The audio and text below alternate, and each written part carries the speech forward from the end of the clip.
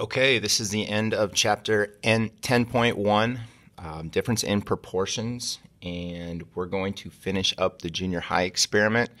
We have a confidence interval and a significance test to find for the uh, junior high experiment. This should be, this sheet right here should be at the end of the packet I gave you um, for chapter 10.1 difference in proportions. So I filled out the information we've gone over before. We're going to start with the confidence interval. Um, 93, 72, 165, 27, 48, 75, 120, 120, 240. P1 is the proportion of junior high kids who pick male when male asks. P2 is the proportion of junior high kids who pick male when female asks and I gave you the, the P naught, um, the expected uh, P hat for proportion 1 and for proportion 2. These are all numbers that we found before, but I'm going to help you with the setup, and then you're going to finish up and, and post this to my Canvas so I can grade it. So here we go. It says construct a 95% confidence interval for the true difference in proportions of kids who chose male when a boy asked and chose male when a girl asked. State plan do conclude, and I have an interpret step which you're going to have to add in on your um, on your on your sheet here. So first of all, let's state. Let's state. I want a 95% confidence interval for the true proportion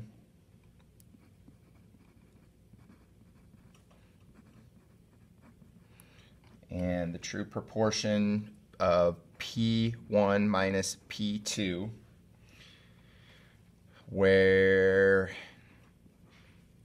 P1 and P2 and I don't really feel like copying them down again so I'm just going to draw an arrow. Plan well this is proportions so it's a Z interval so this is a two sample z interval. And we've discussed the, the conditions uh, quite extensively. I'm going to do them one more time just as a reminder. And don't forget, when you do difference in proportions, you do need to check both independently. You need to check the conditions for P1 and you need to check the conditions for P2. Uh, first condition, SRS. SRS, definitely not. We did a big time convenience sample. Um, 120 is less than 10% of all junior high. That one checks out. 120 is less than 10% of all junior high, and that one checks out. Um, 120 times 0.775, I got the 0.775 from up there. Uh, 120 was how many kids we sampled and 120 times 1 minus 0.775 and 120 times 0.6 and 120 times 1 minus 0.6 and all of these are supposed to be greater than or equal to 10 and they are. So we didn't meet the SRS conditions. We're going to do the math anyway and we're going to go from there. So now here's where you take over. We've stated, we've planned, um, now you're going to do a confidence interval. And the confidence interval is the P1 minus P2 plus or minus Z star um, times that big, huge square root standard deviation. You need to go find that. Um, we've been doing this now for a couple videos. So go find that, and then you're going to find a confidence interval. And after you find the confidence interval, you're going to go ahead and conclude. And your conclude statement, I want you to take the same form as every other statement. I am 95% confidence the true difference in P1 minus P2 is blah, blah, blah, blah, blah. So you can go ahead and do that. But then after that, I want an interpret step. And interpret means what is going on in the context of the problem. And specifically on your interpret step, I want you to discuss if zero is in your confidence interval. Because if zero is in this confidence interval, whatever you get right here, if zero is in that confidence interval, there's a likely chance you're 95% confident the true, true proportion is in this interval. If, if zero is in that interval, there's a likely chance there is no difference between a boy asking and a girl asking. But if zero is not in that interval, let's say the interval shifts towards the positive, well, that means the true proportion of, of boys asking is likely greater. If it shifts towards the negative, it, eh, the true proportion of boys asking is probably less than. We know it's not less than. We, there's preliminary evidence that shows it's not less than. It, it's likely either greater than or maybe zero does appear in that confidence interval. So interpret. I want uh, I want a sentence just discussing. Hey, is zero in that confidence interval? What do I think is going on here? And uh, and write a good sentence. So that's the confidence interval part. Um, the next one that you're going to do is the significance test part, and I'm going to help you set this one up also. So similar situation, similar numbers, all the numbers are the same. Um, we do want to create a, a uh, significance test here. Again, still less powerful than the confidence interval, but uh, it has its merits nonetheless. So here we go. You can press pause. You can fill in those numbers right now. Let's go. State. Uh, this is going to be a Z calculation.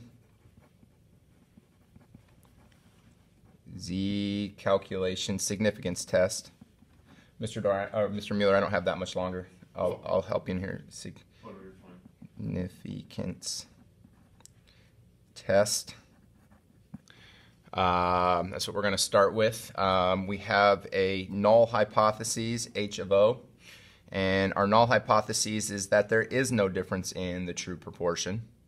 So there, the, the difference, or there is no difference in proportions. So the difference, um, these two numbers would be the same. So we would get zero if we subtracted them.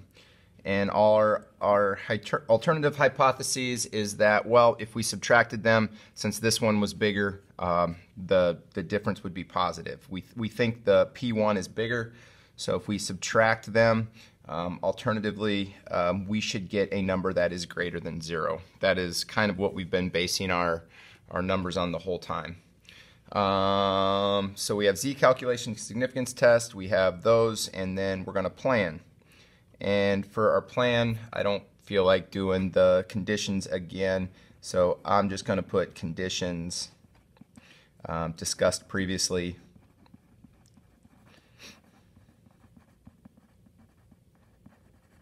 and we have that. So you can um, you can write that if you want to go to your other one and, and fill them out again, you can.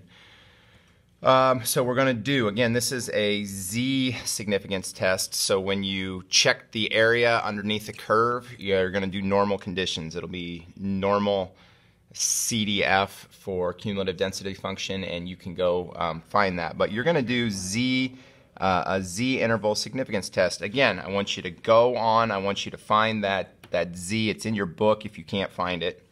Um, you're going to do z condition significance test. You're going to find that that z value. After you find that z value, you need to go find the p value. Um, the p value, don't forget, you're going to go to normal CDF um, to find the p value. Uh, you can do that. And then after you do that, you're going to conclude. Um, you will conclude a significance test. You'll, you'll make a conclusion here, um, just like we've done before. And your conclusion, um, what it's going to be, what it's going to look like, you'll say because because P is equal to whatever you found is whatever, I don't know, greater than, less than, or equal to an alpha of 0.05. We have or we don't have convincing evidence that gender matters when asking a question to junior high students. And the last thing you're going to do this wonderful Friday, you're going to interpret. Interpret. And your interpret, what I want you to do on this one is I want this interpret to be a culmination of everything in the junior high experiment. And here are your rules. I want at least three sentences. I want you to go back through all the significance tests and all the confidence intervals and all the dot plots that we did. And I want you to discuss whether or not you believe, according to all the data and all the work and all the tests that we've done, this is This is our fifth test on this same set of data. So we did a we compared proportions without subtracting them. We actually did a dot plot. Um, we've done a lot with this, but uh, what I want you to do here now is is not get this from anybody else, not copy anybody else's ideas, but I want you to go back and I want you to think, hey, does it really matter according to what the numbers are saying, um, whether or not a boy asks the question or a girl asks the question? And after you do that, um, you can take a picture of it, you can submit it online, and you are done for the week. Um, congrats! I know this has been difficult. Um, we're gonna we're gonna keep crunching away at it. Um, I'm proud of you, and um, I'll see you Monday.